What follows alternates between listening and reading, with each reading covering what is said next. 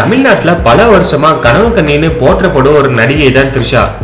இவங்களோட வீடு கார் சொத்து மதிப்பு எவ்வளோங்கிறத பற்றி இந்த வீடியோவில் பார்க்கலாம். த்ரிஷா பார்த்தீங்கன்னா சென்னையில் பிறந்திருக்காங்க. இவங்களோட அப்பா பேர் கிருஷ்ணன் அம்மா பேரு உமா. இவங்க ஜோடிங்கிற படத்தில் துணை நடிகையாக இன்ட்ரோ ஆயிருப்பாங்க. அதுக்கப்புறம் மௌனம் பேசியதுங்கிற படம் மூலிமா ஹீரோயினா தன்னோட கெரியரை ஸ்டார்ட் பண்ணாங்க.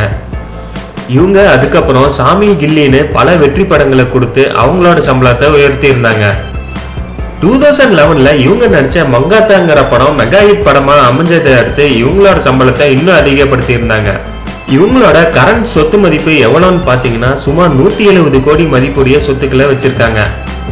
நம்ம தமிழ்நாட்டிலேயே லேடி சூப்பர் ஸ்டார்னு கருதப்படும் நயன்தாராவிட அதிக அளவில் சொத்துக்களை வச்சிருக்காங்க. இவங்களோட சொத்துல என்னென்ன அடங்குங்கிறத பத்தி பார்க்கலாம். த்ரிஷா பார்த்தீங்கன்னா BMW X series car Benz போன்ற பல லக்ஸரி காரை வச்சிருக்காங்க.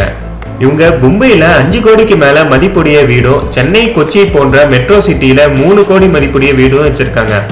இவங்க பீட்டால பிராண்ட் அம்பாசிடரா நியமிக்கப்பட்டாங்க. அது மட்டும் இல்லாம லைன் அணி போத்தீஸ் ஃபேண்டா க்ளோஸ்அப் போன்ற பல ஆட்ல நடிக்க ஒப்பந்தமாயிருந்தாங்க. இதுல இருந்தும் இவங்களுக்கு பல கோடிக்கு மேல வருமானம் வருது.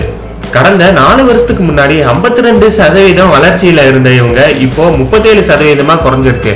வருங்காலங்கள்ல இவங்களோட வளர்ச்சி வீதம் நாற்பதுலேருந்து நாற்பத்தஞ்சு சதவீதம் சொத்து மதிப்பு உயரும்னு எதிர்பார்க்கப்படுது.